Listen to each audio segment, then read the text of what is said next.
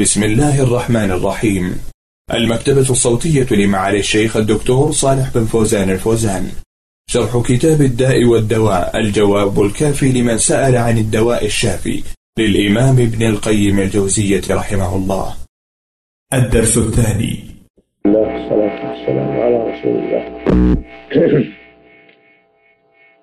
ومن علاج الذنوب والكرب الدعاء فإن الدعاء باب عظيم. قد أمر الله جل وعلا بدعائه ووعد أن يستجيب. فقال سبحانه قال ربكم ادعوني أستجب لكم.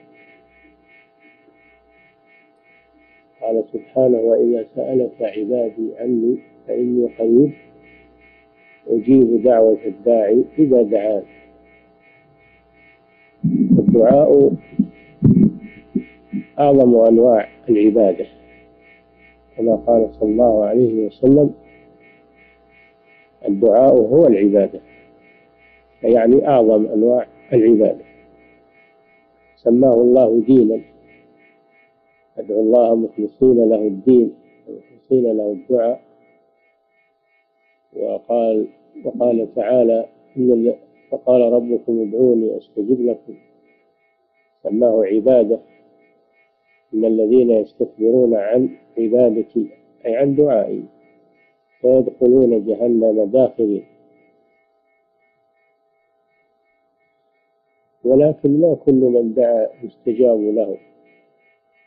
فلماذا؟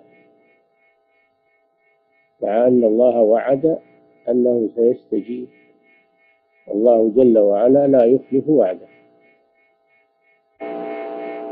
هذا الجواب عن هذا عدة أمور. أولا أن الله قد يؤخر الإجابة لمصلحة العبد. ولهذا جاء أن أن أن الإنسان لا ييأس ويقول قد دعوت ودعوت فلم يستجب لي؟ يكثر من الدعاء. وقد تكون مصلحته في تأخير الإجابة. لأن الله إما أن يجيب دعوته وإما أن يدخر له خيرا منها وإما أن يغفر له من الذنوب مثلها. فالله حكيم عليم. أنت عليك الدعاء. عليك الدعاء. والإكثار من ذلك. ولو لم تحصل إجابة سريعة. فلا تيأس من رحمة الله. وأيضا قد يكون المانع من قبلك أنت. قد يكون المانع من قبلك إما أنك تدعو بدعاء غير مشروع. الله جل وعلا لا يقبل إلا ما شرع. وإما أنك تدعو وقلبك غافل. فلست موقنا بالإجابة؟ النبي صلى الله عليه وسلم يقول ادعوا الله وأنتم موقنون بالإجابة. يكون قلبك غافل أو فاتر. فهذا مانع من موانع الإجابة قد يكون أنك تأكل حراما. قد أن الذي يأكل الحرام لا يستجاب له دعاء. كما في حديث كما في حديث الرجل في السفر أشعث أغبر يمد يديه يا رب يا رب ومطعمه حرام مشربه حرام وملبسه حرام وغذي بالحرام. فأنا يستجاب لذلك. هذه موانع من الدعاء. يجب عليك أن تتنبه لها وتتخلى منها وأن تدعو بقلب حاضر وتكون يكون مأكلك ومطعمك وملبسك ومشربك من الحلال حتى يستجاب لك الدعاء. ومنها أن تعتدي في الدعاء أن تدعو بدعاء غير مشروع لك أن تدعو به. نعم. فالدواء فالدعاء دواء نافع يعني دواء نافع للذنوب وقضاء الحاجات دواء نافع. ولكن الدواء لا بد أن يصادف محله ولا بد أن يؤخذ على الصفة المطلوبة. فإذا صادف الدواء الداء شفى بإذن الله وإذا لم يصادفه فإنه لا ينفع. نعم. الدواء الدعاء مثل الدواء تماما. لا بد أن أن يكون بصفات مطلوبة. نعم. كلوا من الطيبات. الطيبات المباحات. كل ما أباحه الله فهو طيب. كل ما حرمه الله فهو خبيث كما قال تعالى ويحل لهم الطيبات ويحرم عليهم الخبائث. فأكل الطيبات والمباحات سبب لقبول الدعاء وأكل الحرام سبب لمنع القبول. ففكر في مطعمك ومكسبك. نعم. نعم هذا من إخبار بني إسرائيل. والنبي صلى الله عليه وسلم قال حدثوا عن بني إسرائيل ولا حرج. وقال إذا حدثكم بنو إسرائيل فلا تصدقوهم ولا تكذبوهم. قولوا آمنا بالذي أنزل إلينا وأنزل إليكم وإلهنا وإلهكم واحد ونحن له مسلمون. فأخبار بني إسرائيل على ثلاثة أقسام كما ذكر ابن كثير في أول التفسير. قسم يوافق شريعتنا فهذا نقبله. ما وافق شريعتنا فإننا نقبله. وقسم يخالف شريعتنا فهذا لا نقبله. ما خالف شريعتنا لا نقبله. وقسم لا يوافق ولا يخالف هذا نتوقف فيه. الذي لا يخالف ولا يوافق هذا نتوقف فيه. لا نصدقه ولا نكذبه. لأنه يمكن أن يكون حقا فنكون كذبنا بالحق أو يكون باطلا فنكون صدقنا بالباطل. فنتوقف نتوقف فيه. نعم. وحاصل هذا الأثر أن أن الله منع القبول لبني إسرائيل مع أنهم يستسقون ويدعون الله منع القبول عنهم لأنهم يأكلون الحرام ويسفكون الدماء. الله منع القبول عنه نعم. وهذا جاء في شريعتنا ما يوافقه كما سمعتم في الحديث الذي في قوله تعالى كلوا من الطيبات قوله صلى الله عليه وسلم. في الرجل مطعمه حرام ومشربه حرام. ملبسه حرام وغذي بالحرام فأنا يستجاب لذلك. نعم. يعني ليس المقصود أنك تكثر الدعاء ولكن المقصود أن يكون الدعاء خالصا ولو كان قليلا. مثل الملح. الملح يكفي منه القليل ويصلح الطعام. نعم. الدعاء مقامه عظيم ولذلك أمر الله به في آيات كثيرة ووعد أن يستجيب. حتى الكفار إذا دعوا في حال الشدة وأخلصوا الدعاء لله استجاب لهم. كيف بالمؤمنين؟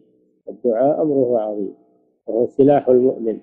ولكن ينبغي أن يعرف أحكام الدعاء وفقه الدعاء حتى يكون دعاؤه نافعا له. ما كل دعاء ينفع وما كل دعاء يستجاب إلا إذا توافرت فيه الشروط.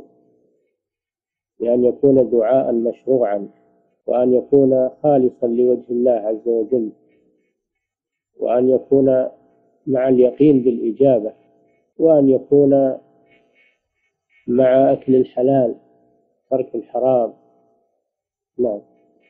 هو الإكثار من الدعاء طيب مأمور به الإلحاح والإكثار من الدعاء. لكن قد يكثر من الدعاء ولا يستجاب له لأنه ما توفرت فيه الشروط. نعم. أما إذا توفرت الشروط ولو كان الدعاء قليلا فإن الله ينفع به. نعم نعم الدعاء مقامه عظيم. والدعاء إذا كان صادرا عن إخلاص وعن وعن تضرع إلى الله عز وجل فإنه لا يذهب سدى وهو يعالج القضاء والقدر إما أن يدفعه وإما أن يتمانع يتمانع مع يتمانع القضاء والقدر وهو من القدر هو من القدر. الله لا إذا قدر شيئا لا بد أن يقع لكن الدعاء من القدر فهو قدر يدفع بقدر. نعم. ينفع مما نزل من من الابتلاء وينفع مما لم ينزل فيمنع نزوله. نعم. نعم لا. يدفع لا يدفع القضاء إلا إلا الدعاء. ولا يقال كيف القضاء يدفع مع أن الله قضاه. وما قضاه الله لا بد أن يقع. فنقول أيضا الدعاء من من القضاء. أنت ما دعوت إلا لأن الله قضى وقدر أنك تدعو. فهذا من دفع القضاء بالقضاء. القدر بالقدر. نعم. نعم. الإلحاح في الدعاء يعني الإكثار وأن لا تيأس. بل أكثر من الدعاء وأصلح حالك حتى يستجاب لك. إذا ما حصل استجابة ارجع إلى نفسك وحاسبها. ربما عندك مانع من موانع الدعاء تخلى عنه. وأيضا لا تيأس فإنك لا تدري المصلحة لك. قد يكون تأخير الإجابة أحسن لك. نعم. لا شك يدل على لأن لأن الغضب يدل على أنك تركت واجب. ولا يغضب عليك إلا إذا تركت أمرا واجبا. الدعاء واجب لقوله تعالى وقال ربكم ادعوني هذا أمر الأمر يفيد الوجود ادعوا ربكم. ادعوا ربكم هذا أمر. نعم. نعم الدعاء أمره عظيم. فإذا تسلح المسلم به فإن الله ينفعه به. وإذا غفل عن الدعاء فإنه يعرض للابتلاء والامتحان. نعم. نعم. يحب الملحين يعني المكثرين المكثرين من الدعاء. يحبهم الله عز وجل. هذا دليل على مشروعية الإكثار من الدعاء. نعم. نعم. فإذا وقع الإنسان في الخطر الشديد فإنه يتسلح بالدعاء. نعم. مثل الإنسان إذا وقع في البحر فإنه يكثر من الدعاء. حتى المشرك آه، المشركون إذا أخذهم الموج وأحاطت بهم الأمواج دعوا الله مخلصين له الدين لأنهم يعلمون أنه ما ينفع إلا دعاء الله وحده وينسون ما ما يدعون من دون الله ينسون أصنامهم معبوداتهم أنهم يعلمون أنه لا يخلص من الشدة إلا الله سبحانه وتعالى. وإذا مسكم الضر في البحر ظل من تدعون إلا إياه. ولما نجاكم من البر أعرض. نعم. من من موانع من موانع قبول الدعاء أن الإنسان يستعجل ويقول دعوت ولم يستجب لي فيترك الدعاء. فإذا ترك الدعاء فإنه لا لا يستفيد من دعائه الأول.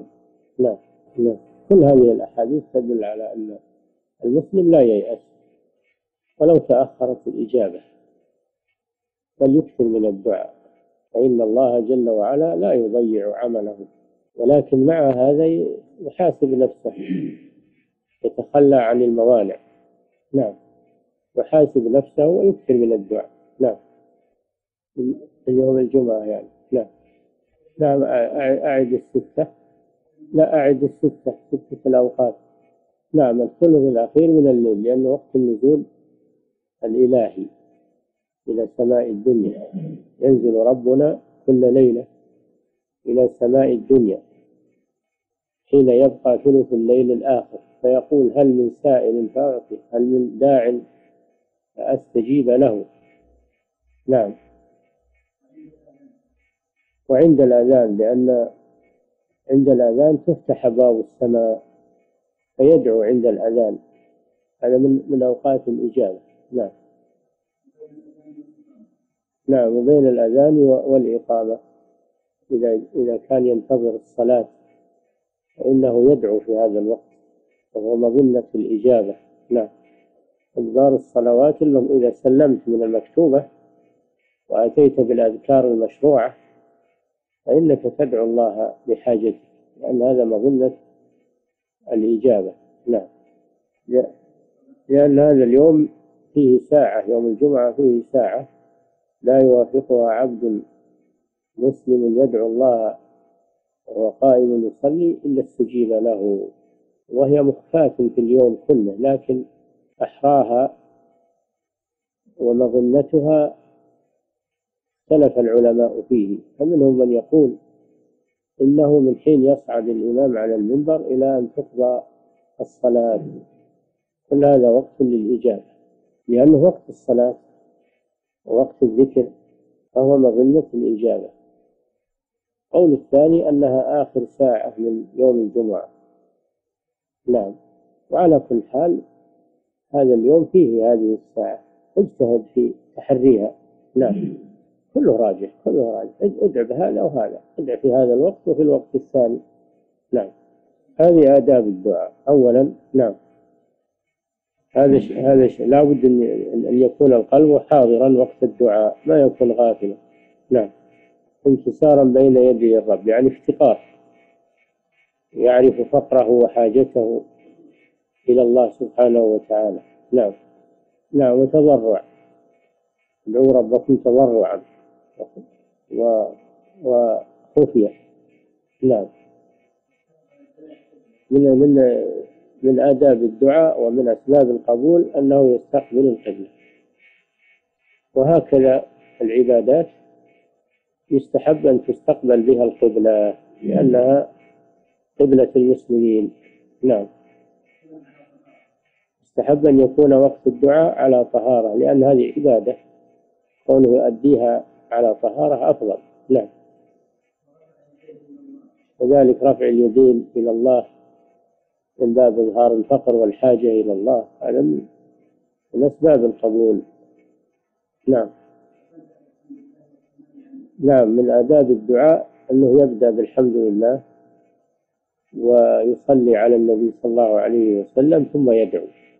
نعم لأنه إذا تاب إلى الله واستغفر ثم دعا بعد ذلك فهو حري أن يستجاب له.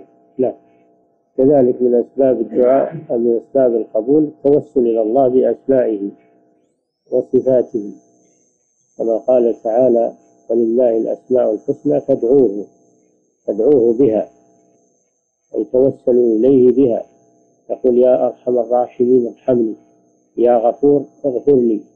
يا تواب تب علي يا رزاق ارزقني. وهكذا تتوسل إليه بأسمائه وصفاته. نعم. وذلك من أسباب القبول أنه يتصدق على المحتاجين قبل الدعاء. نعم. إذا توفرت فيه هذه الأمور فإنه بإذن الله لا يرد. نعم. وذلك نوعية الدعاء. الدعاء يختلف ويتفاضل. فإذا دعا بدعاء يعني دعا بدعاء مشروع وارد عن النبي صلى الله عليه وسلم فهذا مظنة الإجابة يدعو بالأدعية الواردة في القرآن والأدعية الواردة في السنة وإذا دعا بغيرها مما يوافقها فلا بأس. نعم. إذا توسل إلى الله بالتوحيد أسألك بأنك أنت الله لا إله إلا أنت. هذا توسل بالتوحيد. وهذا هذا من أسباب الإجابة. نعم يتعلم الإنسان هذه الأدعية ويدعو بها مع حضور قلبه. نعم نعم اسم الله الأعظم. إذا دعا به الإنسان استجيب له. ولكن الله أخفاه في أسمائه من أجل أن الإنسان يدعو الله بأسمائه كلها. ما يحفظ منها وما يعرف حتى يصادف هذا الاسم. مثل ما أخفى ليلة القدر في رمضان مثل ما أخفى ساعة الإجابة يوم الجمعة من أجل أن الإنسان ما يقتصر على نوع واحد بل يعبد الله بجميع بجميع الوقت وبجميع ويدعوه بجميع الأسماء التي يعرفها ويجتهد في ذلك. ولكن أحراها الحي القيوم. الله لا إله إلا هو الحي القيوم. هذا جاء في آية الكرسي وفي أول سورة آل عمران. الله لا إله إلا هو الحي القيوم. نعم. الاسم يطلق على الأسماء أيضا. الاسم يطلق على الأسماء. نعم. نعم من الألفاظ من ألفاظ الدعاء التي يستحب الإكثار منها يا ذا الجلال والإكرام. يكثر من قول يا ذا الجلال والإكرام. نعم. رفع الرأس إلى السماء. هذا من أسباب الإجابة. وفيه إثبات أن الله جل وعلا في السماء. ترتفع إليه الوجوه وتتجه إليه القلوب في العلو سبحانه وتعالى. ويقول يا حي يا قيوم. لأن هذا الحي القيوم هذان الإسمان يتضمنان كل الأسماء. لأن الحي يتضمن كل كل الصفات الذاتية والقيوم يتضمن كل الصفات الفعلية كلها ترجع إليه. نعم. نعم. يا حي يا قيوم. دل على فضل هذا الاسم حي القيوم. نعم. وعنت الوجوه للحي القيوم. هذا في سورة طه وفي سورة البقرة في آية الكرسي. وفي آل عمران في أولها. الله لا إله إلا هو الحي القيوم. نعم هذا فيه أنه توسل إلى الله بأنواع من التوسل. توسل إليه بالتوحيد. لا إله إلا أنت. وتوسل إليه باعترافه بذنبه. لا إله إلا أنت إني كنت من الظالمين. فاعترف بذنبه توسل إلى الله بذلك. فهذا من أسباب الإجابة. لا إله إلا أنت سبحانك إني كنت من الظالمين. ثلاثة أشياء. توسل إليه بالتوحيد وتوسل إليه بالتنزيه والتسبيح. توسل إليه باعترافه بذنبه. ذنون يعني يونس عليه السلام. والنون هي الحوت. وذنون يعني صاحب الحوت. اصبر لحكم ربك ولا تكن كصاحب الحوت. يعني ذنون عليه السلام. النون هي الحوت. يعني فليس خاصا به. لأنه قال وكذلك ننجي المؤمنين. يعني فمن دعا بهذا الدعاء عن إخلاص وعن حضور قلب فإن الله يستجيب له. لا سيما إذا كان في شدة. نعم. نقف عند هذا. نعم.